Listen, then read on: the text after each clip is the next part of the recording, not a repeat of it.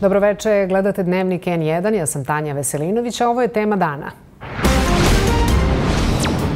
2020. 2024. neće, a sad 2028. šta će da bude još ne mogu sasvim da vam predvidim.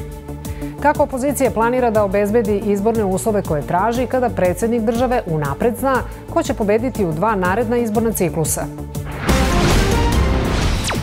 Od ostalih događaja izdvajamo.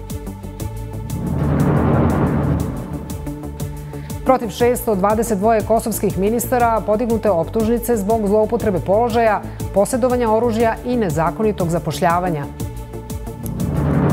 Nekoliko hiljada ljudi na protestu hrvatskih branitelja u Vukovaru traže da se procesuiraju ratni zločini i poručuju da ne veruju hrvatskom pravosuđu. Na trgu krajine u Banja Luci protest opozicijonih stranaka koje ne priznaju izborne rezultate i osporavaju pobedu Dodikove stranke nezavisnih socijaldemokrata. Pokrenuta istraga o mogućem nameštanju utakmice Lige šampiona između Crvene zvezde i Paris Saint-Germaina. U Beogradskom klubu oštro odbacuje optužbe.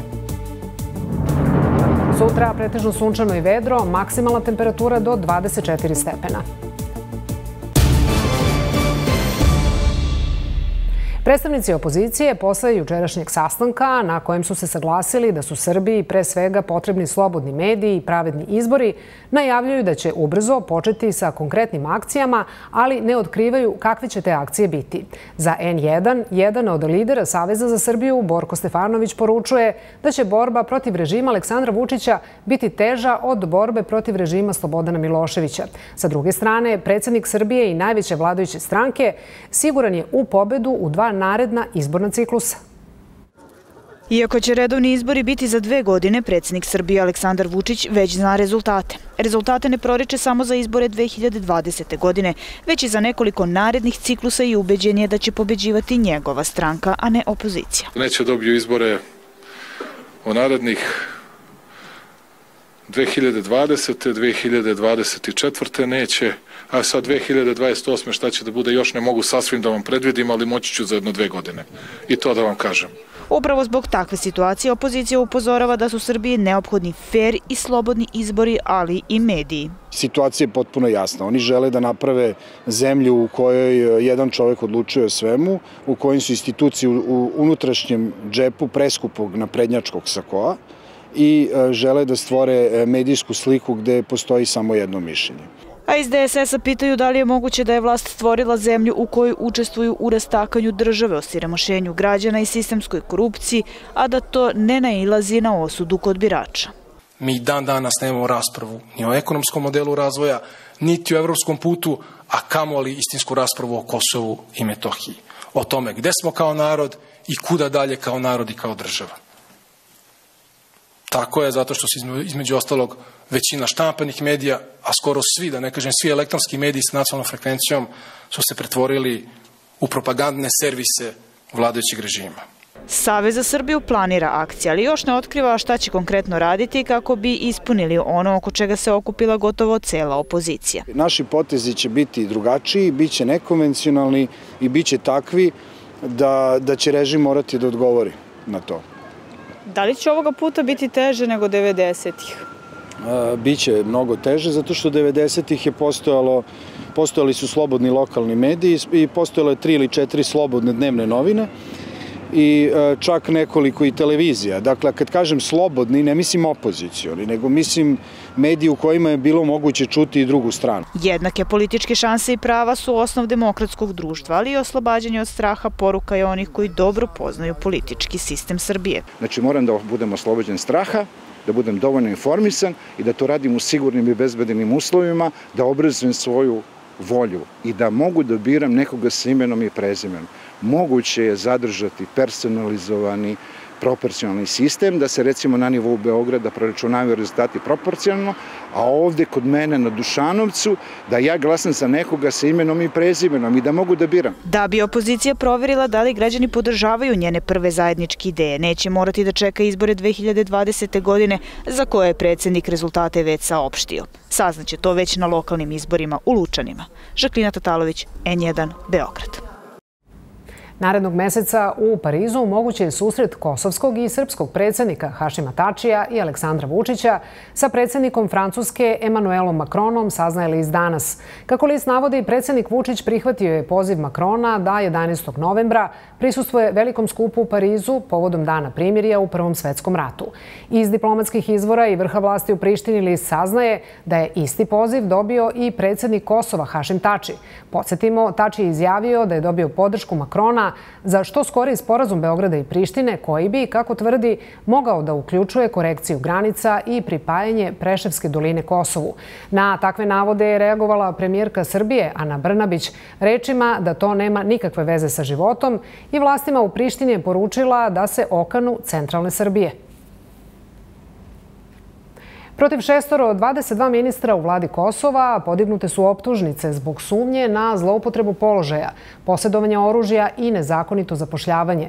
Međunarodni predstavnici, kao i civilno društvo, traže da se ministri sa optužnicama sklone sa javnih funkcija. Uprkos tome, vlada Kosova je prošle nedelje imenovala Endrita Salju, koji je optužen za neovlašćeno posjedovanje oružja za ministra trgovine i industrije. Od korupcije, sukoba interesa pa do neovlašćenog posjedovanja oružja. To su samo neke od optužbi protiv šest ministara u vladi Kosova. Predsjednik Kosova Hašim Tači je pre više od godinu dana pokrenuo proces usvajanja zakona kojim bi se sprečilo obavljanje javnih funkcija od strane osoba protiv kojih je podignuta optužnica. Ipak zvanična politika ne pokazuje preveliku volju za usvajanjem ovog zakona. Iz Kosovskog instituta za pravdu kažu da je ova vlada prekoračila sve ranije rekorde kada se radi o broju ministara koji su pod istragom ili optužnicama. Na nije štet normalni civilizbatan U jednoj normalnoj državi gde se poštuju minimalni principi demokratije i dobrog upravljanja, ne bi bilo moguće da osobe koje imaju kriminalnu prošlost ili su optužene za korupciju budu deo institucija. Nažalost, ova vlada je srušila sve rekorde što se tiče članova protiv kojih se vodi istraga ili su optuženi za korupciju, gde više od trećine ministara ima problem sa zakonom. Takav pristup je najlošija poruka međunarodnim partnerima i stranim investitorima. Razna su mišljenja o tome da li optuženi ministri treba da daju ostavku dok su pod istragom ili samo u trenutku kada pravosnažno budu osuđeni. Posmatrači ocenjuju da sama činjenica da se u zatvorima Kosova ne nalazi nijedan političar za krivična dela korupcije i organizovanog kriminala dokazuje da se zakon sprovodi samo za niže slojeve, dok za onaj politički zakon ne važi i ne sprovodi se. Osim ministara u vladi Kosova probleme sa zakonom ima i jedan broj poslanika kao i gradonačelnika. Neretko se desi da određeni ministri provode dane u sudskim salama gde se suočavaju sa optužnicama za krivična dela korupcije dok posle podne potpisuju tendere i razgovaraju sa međunarodnim partnerima o ekonomskom razvoju i vladavini prava. Ovo govori o paradoksu na Kosovu gde ministri pre podne idu na sud kao optuženi, a posle podne donose odluke navodno na dobrobit građana. Predstavnica Evropske unije na Kosovu Natalija Apostolova pozvala je zvaničnike optužene za korupciju da napuste institucije. Ona je zatražila usvajanje zakona kojim se zabranjuje da lica protiv koji je podignuta optužnica obavljaju javne funkcije kao i zakon o oduzimanju imovine licima sa sudskom presudom o nezakonitom pribavljanju imovine. Zana Cimili, N1, Priština.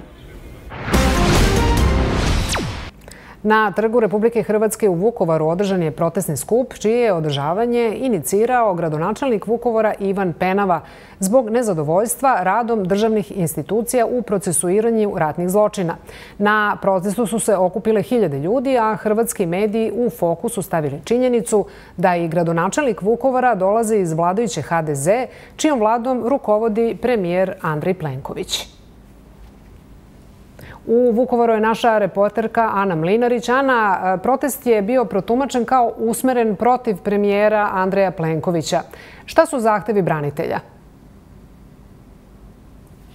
Malo smo zapravo mogli čuti političkih poruka danas okupljeni ovdje. Slušali su mučna svjedočanstva žena koje su preživjele, odnosno prošle silovanje muškaraca koji su preživjeli pokušaje ubojstva ili su pak 90-ih mučeni. No kao što kažem, političkih poruka i nije bilo. Ipak Ivan Penava obrušio se na državu, rekao da ni izvršna, ni zakonodavna, ni sudska vlast u posljednjih 27 godina nisu napravile gotovo ništa u rješavanju ratnih zločina i tu je posebno apostrofiraju krivnju državnih dužnostnika. Naglasio je primjerice rad državnih državnog odvjetništva, odnosno državne odvjetnike koji je upitao zašto određene spise drže u ladicama, zašto po određenim postupcima ne postupaju, zašto neka djela prekvalificiraju, a nekako novu odgovornost sada je stavio i na tajne službe koje je rekao moraju prikupiti sve potrebne podatke o zločinima na području Vukovara. Evo najzanimljivijeg dijela njegovog govora.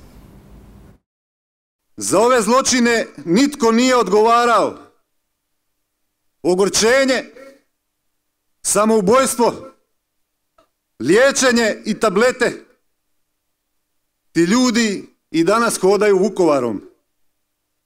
Hrvati nas ubijaju od 91. Nemam povjerenje u institucije i hrvatsko pravosuđe. Ana, da li je bilo nekih incidenata?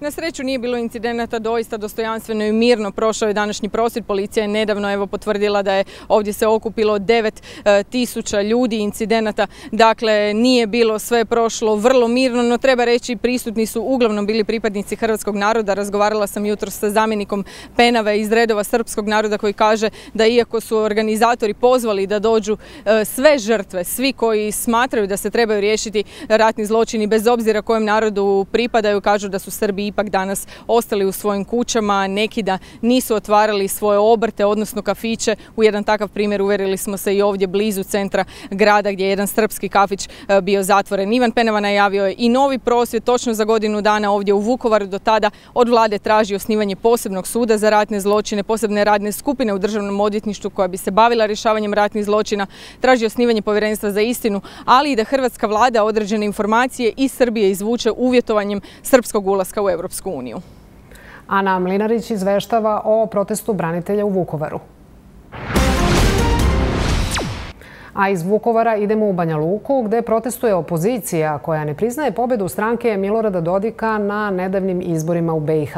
Te proteste prati Slaviša Starčević. E, Slaviša, koji su zahtevi opozicije? Pa zahtjevi opozicije su se nekako pretvorili u ovaj, e, ajmo reći, narodni e, skup. E, iako je danas drugi dan skupa Pravda za Davida u kojem Davor Dragičević, otac stradalog Davida Dragičevića, traži istinu u smrti svog djeteta. On je na samom početku i rekao da nikome više ne vjeruje, a naročito u izborni proces i rekao da on sam nije glasao na ovim izborima, a nije nije glasao, kako kažem, i njegov pokojni sin, pa da sada građani Republike Srpske traže od onih za koje su glasali i pravdu, a i promjene u Republici Srpskoj. Ovaj skup je potpuno drugačiji od onih koje smo navikli ovdje na trgu krajine, s obzirom da se ovdje uglavnom pozivaju MUP i tužilaštvo Republike Srpske da rasvijetli smrt Davida Dragičevića. Međutim, opozicija već sat vremena govori na ovom skupu, ne svi, jer je ovaj skup pokazao ozbiljan raskol opozicije u Republici e, Srpskoj. E, pojedini e, izabrani već dužnosnici ovdje u Narodnoj skupštini Republike Srpske i parlamentu Bosne i Hercegovine su tražili da se članovi opozicije koji su i prošli na izborima, ali učestvovali na izborima, kako kažu, izađu iz romanijskih vrleti i drugih logora, odnosno drugih skloništa i izađu pred narod i kažu, kažu zašto se to dogodilo. Sam Davor Dragičević, otac Davida Dragičević, Vučević rekao je da, nam, da mu na ovom trgu niko ne treba osim oni koji su članovi grupe Pravda za Davida. Za koga ste glasali? Tražite istinu i pravdu od njih. A ko je u grupi Pravda za Davida i uz mene i moje mrtvo dijete, rekao sam vam. Ja sam vam i moj život i čast i dostojanstvo i obraz. 24 sata dnevno na raspolaganju i ja i Davidov grob i moje obećanje. Ni ću ustuknuti, ni ću vas napustiti, niti izneveriti.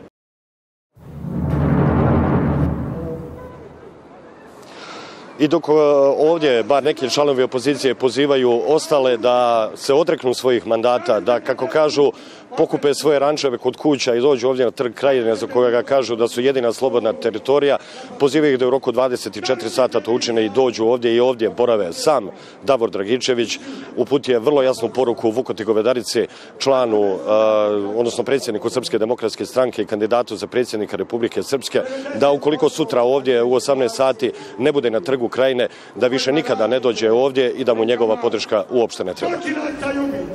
Slaviša Stačević javio se uživo iz Banja Luke. U narednim minutima dnevnika pogledajte i ovu priču. Kako je čovek koji je prvostepeno osuđen za diskriminaciju žena i LGBT populacije i veliki protivnik vakcinacije izabran za dekana Pravnog fakulteta u Novom Sadu? Pre toga druge teme. 27-godišnji mladić iz Beograda poginuo je sinoć na putu Perućac-Mitrovac na planini Tara. Sa mesta nesreće izveštava Vesna Đurović. U pokušaju da napravi selfie snimak sa društvom, mladić je sa ovog mesta pao u provaliju dugu 200 metara. Spasilačkim ekipama bilo je potrebno 5 sati da izvuku njegovo beživotno telo. Mi smo krenuli u potragu za njim na nekih, posle nekih otprilike 150 metara našli smo lice koje je bilo ovaj, e, zakačeno za, za drvo, a lice je preminulo na licu mesta već kada je pao, on je već, već ovaj, se upokojio.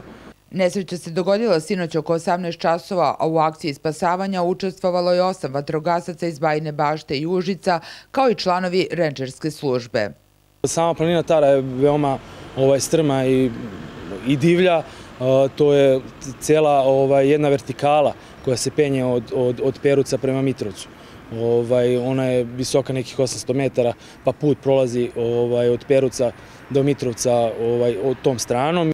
Iz nacionalnog parka Ističu da ovakve nesreće sa smrtnim ishodom poput ove nisu neobičajene na ovom terenu, jer turisti često ne koriste 280 km obeleženih staza, već se kreću po neobeleženim i nepristupačnom terenu, dovodeći sebe u opasnost. Vesna Đurović, N1, Tara. Zatvoreni vijadukt na obilaznici oko Čačka, koji je praktično najvažniji putni pravac ka Užicu, podelio je mišljenja čačanske vlasti i izvođača radova, koji krivicu prebacuju jedni na druge. Izvođači smatraju da je još na početku radova trebalo kompletan saobraćaj izmestiti sa vijadukta kako ne bi došlo do oštećenja stubova. Vlast postavlja pitanje kako je moguće da je posle nekoliko meseci radova uočeno da su stubovi napukli. Obilaznica oko Čačka trebala je da bude puštena u saobraćaj 15. oktobra, odnosno četiri meseca nakon što je zatvorena za saobraćaj zbog rekonstrukcije. Ali, sedam dana pre puštanja u saobraćaj, izvođači radova su uočili da je došlo do naprsnuća na jednom od potpornih zidova. Zbog toga je sada saobraćaj potpuno zatvoren na ovom vijaduktu gde se inače saobraćaj propuštao samo jednom trakom. Sada kompletan saobraćaj ka Užicu ide kroz centar Čačka. Kolone automobila i kamiona, zastoji pa i kolaps saobraćaja u nekim trenucima. Ovako izgleda dan na ulicama Čačka od trenutka kada je obilaznica oko ovog grada zatvorena za saobraćaj. Desetine hiljada vozila koji se dnevno upute ka Užicu ili natrag ka Čačku moraju da prođu kroz sam centar grada, jer je to jedini način da se ponovo uključe na magistralne puteve. Oštećeni stubovi produžili su rekonstrukciju, a iz puteva Srbije kažu da će ona potrajati do polovine novembra. Znači, u fazi izvođenja radova rehabilitacije pojavile su se prsline na stubovima 14, 15 i 16, koje su elaborirane, isprojektovane kroz projekat, dopune projekta za izvođenje. Izvođač je bio u obavezi da te radove, te prsline sanira. Kako smo saznali, projektanti rekonstrukcije pretpostavljaju da je došlo do pucanja stuba zbog uvažavanja zahteva policije i grada da se teretni saobraćaj propušta preko vijadukta kako ne bi išao kroz centar grada. Gradonačelnik Čačka Milun Todorović naglasio je da je za grad bilo neprihvatljivo da se teretni saobraćaj četiri meseca odvija kroz grad, podsjetivši da je pronađeno kompromisno rešenje da se on odvija na izmenično jednom trakom vijadukta. Todorović je istakao da je važno da nije došlo do većeg incidenta, odnosno do urušavanja vijadukta, ali je izrazio nezadovoljstvo zbog nemara izvođača radova. Ono što je meni zaista neprihvatljivo jeste da izvođač nije u nekom ranijem periodu uvideo pukotinu na ovom stubu broj 16 i to je nešto što ja lično smatram kao veoma, veoma nemarno. Vijadukt kod mašinsko saobraćajne škole u Čačku građen je 70. godina prošlog veka. Most je kompletno staniran 2002. godine zbog ozbiljnih oštećenja. Rekonstrukcija je tada koštala preko milion evra. Za aktuelnu sanaciju ovog objekta izdvojeno je 100 miliona dinara. Nenad Božović, N1 Čačak. Na dužnost dekana Pravnog fakulteta u Novom Sadu 1. oktobra stupio je Branislav Ristivojević, redovni profesor, nekada narodni poslanik i šef poslaničkog kluba DSS-a, protivnik vakcinacije, a od maja i osoba protiv koje postoji prvostepena presuda za diskriminaciju. U Savetu fakulteta se time do sada nisu bavili, niti planiraju. U maju je prvostepeno osuđen zbog diskriminacije žena i pripadnika LGBT populacije. Takođe u maju izabran je za dekana Pravnog fakulteta – funkciju na koju je stupio 1. oktobra. Da li su znali za presudu kada su glasali? Predsednik Saveta fakulteta kaže da, ali to nije bila tema jer je u pitanju parnični postupak. Ja kao predsednik Saveta sam znao, ali nisam siguran da su ostali članovi Saveta znali, a ja nisam to iznosio pred Savet, jer kaže vam to ne predstavlja nikakvu prepreku za izbor dekana. Dakle, to nije ni moglo da se nađe na Savetu, niti će biti ikada na Savetu. Dekan Ristivojević za N1 nije hteo da govori. Umesto toga najavio nam je tužbu zbog, kako kaže, neobjektivnog izveštavanja. S druge strane, njegov način pisanja bio je povod da poverenica za ravnopravnost pokrene strateški parnični postupak koji je, kaže, bitan za javnost. Ovo je bio jedan od e, tih slučajeva jer smo smatrali da se radi o e, diskriminaciji posebno ranjivih grupa, dakle i žena i LGBT zajednice, da je u pitanju više struka diskriminacija i da je potencijalni diskriminator vrlo važan društveni činilac, s obzirom da se radi o profesoru pravnog fakulteta. Viši sud presudio je da je Ristivojević pojedinim stavovima u tekstu nasilja u porodici i nasilje nad porodicom, objavljenom na sajtu Nove srpske političke misli, diskriminisao žene i LGBT zajednicu. On je uložio žalbu i slučaje pred apelacionim sudom. Budući da presuda nije pravosnažna, ne mogu da je komentarišu, ali u Višem sudu navode da je Ristivojević u tekstu izrazio ideje i stavove koji su uznemirujući i zasnoveni na stereotipima i predrasudama prema ženama i LGBT zajednici. Takav stav suda, čak i ako presuda postane pravosnažna, Ristivojevića ne sprečava da obavlja funkciju dekana. Zakonska smetnja bila bi tek pravosnažna presuda za krivično delo, što ovde nije slučaj. Osim toga, sam sam fakultet može razrešiti e, dekana u slučaju kada dođe do teške povrede e, kodeksa profesionalne etike. Ono što je problem jeste što e, dokument koji se bavi profesionalnom etikom uopšte ne poznaje zabranu diskriminacije. Izuzev kada je reč o diskriminaciji napredovanja u službi. Ukoliko presuda postane pravosnažna, jedina sankcija koju će Ristivojević snositi jeste zabrana da u buduće na mestima dostupnim javnosti iznosi stavove koji omalovažavaju žene i LGBT zajednicu, te da na istom sajtu gde je objavio tekst, objavi tekst presude. Nataša Kovačev, N1, Novi Sad. Do kraja dnevnika pogledajte. Ne, ne, ne dolazi u ovdje. Novi protest zbog urbanističkih rešenja u glavnom gradu. Stanovnici Mirjeva nezadovoljni zbog najavljene gradnje na mestu dečjeg igrališta.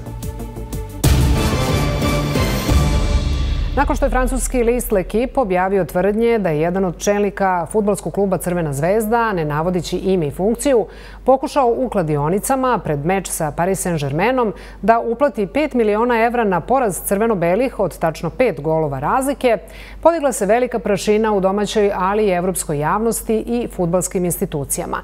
Podsjećamo, rezultat meča drugog kola Ligi šampiona bio je 6-1 za francuski tim. Informacije o nameštanju objavio je novinar Gregor Flero, gostujući na francuskoj televiziji. Navode francuskog lista oštro su demantovala oba kluba, dok u Crvenoj zvezdi najavljuju tužbu protiv čuvenog sportskog lista. Sa druge strane, redakcija Insajdera potvrđeno je da je francusko tužilaštvo pokrenulo istragu o navodnom nameštanju utakmice. O sumnjama na nameštanje utakmice u Dnevniku razgovaram sa novinarom i urednikom sport kluba Vladom Novakovićem. E, Vlado, koje su poslednje informacije? Crvena zvezda je reagovala sa dva saopštenja za manje od 24 sata.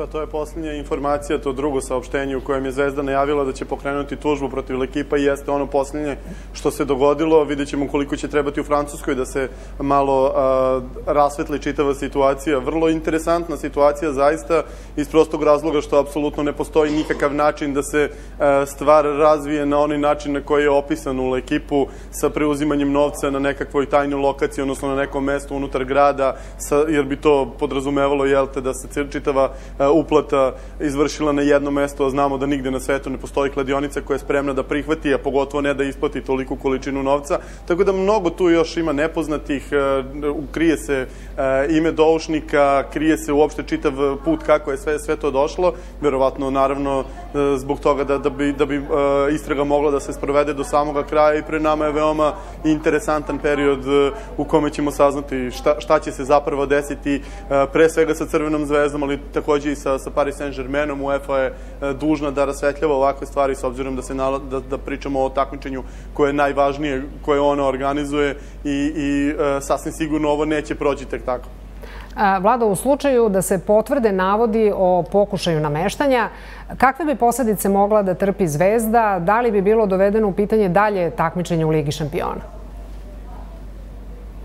Pa ovo nije pitanje za jedno takmičenje u Ligi šampiona, za, za ovakvu stvar, kada, kada dođete do, do, do toga da, da je neki tim nameštao novi način e, svoje rezultate, e, može da, da dobije veoma dugi suspenzije. Videli smo da je ekipa Skenderbe u, u Albaniji dobila 10 godina suspenzije zbog sistematskog nameštanja utakmica u domaćem takmičenju, ali i u evropskim takmičenjima. Ono što jeste veliko pitanje to je da li postoji kakav način da se nešto ovako dokaže, u što zaista rekoh, ne mogu da poverujem, ne zbog toga što verujem ljudima koji se bave futbolom u ovoj zemlji daleko od toga, nego zato što mislim da je fizički nemoguće da su se stvari dogodile onako kako ih je uh, Lekip uh, opisao. Znamo da na ovim prostorima vrlo često postoje te situacije u kojima e, su domaći čelnici klubova povezani sa, sa, sa sličnim radnjama. Znamo da e, postoji neredka e, situacija u našoj prošlosti kada su čak i u konkretnim situacijama ljudi sumnjičili neke od domaćih klubova da su na sličan način prodavali utakmice. Međutim, ono što meni tu najinteresantnije to je da, da, da se utvrdi da li se iko kladio, jer ukoliko se iko kladio ko je vezan za futbolski klub Crvena zvezda, makar i na pobedu zvezde, makar i na bilo šta što ima veze sa tom utakmicom, ta osoba mora da snosi posledice. Imamo slične slučajeve i u Engleskoj i u nekim drugim zemljama zapadne Evrope, gde bilo koja vrsta klađenja na, na, na utakmice svog tima, čak i kada je u pozitivnom smislu, uh, je, je kažnjivo delo. E sad, ukoliko se, se utakmice još i nameštaju, ukoliko se njihovi ishodi nameštaju, ukoliko se, kako se to kaže, prodaju, to jest e, namerno gubi zbog e, koristi, kazna bi mogla da bude zaista brutalna. Rekao već Skenderbeu je dobio 10 godina izuzeća za, za sličnu stvar, nema nikakve dileme da, da bi se sa nečim sličnim bilo koji drugi klub koji, koji to radi suočio, pa i Crvena zvezda. Za dnevnik je govorio urednik sport kluba Vlada Novaković. Gužve za kupovinu u prodavnici Lidl u Nišu nisu se smanjile ni danas. Trećeg dana od otvaranja, Nišlije su strpljivo čekale u redu koji je bio dugi preko 30 metara. Za dolazak na red za kupovinu potrebno je u proseku oko 1 sat, prenela je agencija Beta. Na dan otvaranja u Lidlu u Nišu nije bilo scena otimanja za piletinu koje su viđene u nekim drugim gradovima Srbije, ali kupci potvrđuju da su gužve velike i da treba biti uporan da bi se nešto kupilo a Centar za zaštitu potrošača iz Niša danas je upozorio kupce da se prehrambeni proizvodi stavljaju na akciju uglavnom pred istek vremena upotrebe, jer nakon isteka roka upotrebe ti proizvodi ne smeju biti izloženi u prodajnim objektima. Oni u saopštenju navode da potrošači u Srbiji nemaju iskustva sa velikim akcijama trgovaca prehrambenih proizvoda. Dodaju da su prema pisanjima medija građani u velikim količinama kupovali pileće meso, iako su neki mediji preneli da je prema deklaracijama na pakovanjima pilića stajalo da je rok upotrebe 14. oktobar 2018. Iz centra napominju da celo pile može biti zamrznuto do 12 meseci, zbog čega i nije preporučljivo kupovati zamrznutu piletinu ako ona nema deklaraciju na kojoj je unet datum zamrzavanja. Još jedan u nizu protesta protiv urbanističkih rešenja grada Beograda. Naime, meštani Mirjeva negoduju jer je uprava prestonice donala odluku da izgradi stambeno-poslovni kompleks na mestu parka i igrališta koje koriste oko 100 mališana i roditelja. Stanari okolnih zgrada se protive toj odluci jer će novogradnja deci uskratiti prostor za igru, ali će napraviti i problem sa parkiranjem u, kako kažu, već prenatrpanom Mirjevu. Da li su ovo poslednji trenuci igre u takozvanom Mirjevskom parkiću? Po svoj prilici, igrariji ovde dolazi kraj, jer grad Beograd je isplanirao na mestu igrališta nići će stambeno poslovne zgrade. Ne, ne, ne dolazi ovde. Izričiti su meštani okolnih stanova. Kivni su jer su prestonici od detinstva mališana preči investitori. Koliko je po tom projektu ovaj predviđeno, vidim da ostaju samo ove ljuljaške i klackalice, ovo što se iza mene vidi. Uh, ovaj veliki teren gde deca svakodnevno igraju futbal, voze bicikle, trotinete, to će nestati ako se bude realizovao ovaj plan. Takođe ovaj deo gde ponovo oživljavamo neke stare igre poput lastiša, preskakanja vijače, ni toga više očigledno neće biti. Nema ovde noću da se skupljaju oni veliki, da se drogiraju, nego samo deca su stvarno. Koliko su meštani vezani za Parkić dokazuje i ovaj zidić od Milošte nazvan Mirkov Zidić. Reč je o komši Mirku, koji tu stalno okuplja ekipu, ali redovno priskače u pomoć ukoliko zakaže klackalica ili ljuljaška. Mi kad tražimo zahtev da nam to ovaj poprave za decu, čeka se po 10-15 dana. Mirko to istog momenta ode i sve za decu popravi. A osim zidića i igrališta, gradnjom više espratnica, okolnim stanarima stradaće i pogled. Jer ja sam ovde baš. I ako mi zatvori pogled, onda nek mi daju stan negde u gradu. Tako? Mislim, stvarno je bezobrazlog da se ovde zide. Mi tražimo od nadležnih organa da to što treba da prave ovde nek izmeste. Evo ovde 100 metara gore imaju ovu šumu gde imamo problema sa njom e, i, i zbog komaraca, i zbog zmija, i zbog svega ostalog. Nek izmeste te investitore evo ovde, a nek nama ostave ovo za decu i za sve ovde ovaj, i da nađemo neko kompromisno rešenje. Najavljuju, uskoro će na vrata prestoničke uprave pokucati s peticijom. Adam Santovac, N1, Beograd. Novak Đoković pobedio je Aleksandra Zvereva sa 6-2-6-1 u polufinalu turnira iz Masters 1000 serije u Šangaju. Đoković je pobedom osigurao drugo mesto na ATP listi, a u finalu će igrati sa hrvatskim teniserom Bornom Ćorićem, koji je u meču karijere savladao Rodgera Federera u dva seta. Đoković će se u nedelju boriti za 32. trofej iz Masters serije, a četvrti u Šangaju u 10 časova i 30 minuta uz direktan prenos na sport Sport klubu 1. I narednih dana toplo, više o vremenu saznaćete od Milene Lazarević. Shopping vikend u svim radnjama obuće Metro. Iskoristi top popust od 20% na novu kolekciju. Vaša obuća Metro.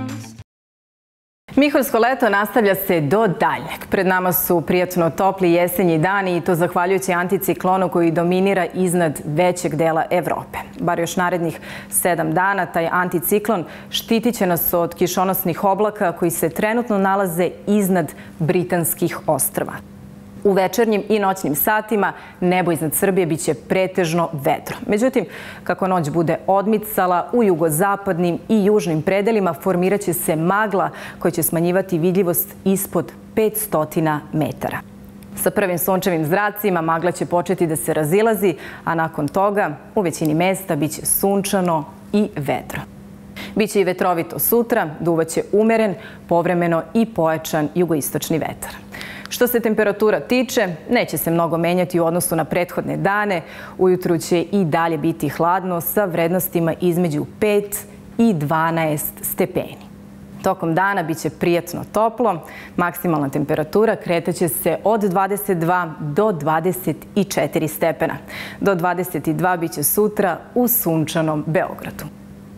Slične vremenske prilike očekuju se i tokom većeg dela naredne sedmice. Dakle, bit će sunčano i prijatno toplo. Nešto više oblaka bit će utorak i sredu, ali samo prolazno. Ono što će biti dugotrajnije jeste magla koja će uglavnom prekrivati predele duž reka i jezera.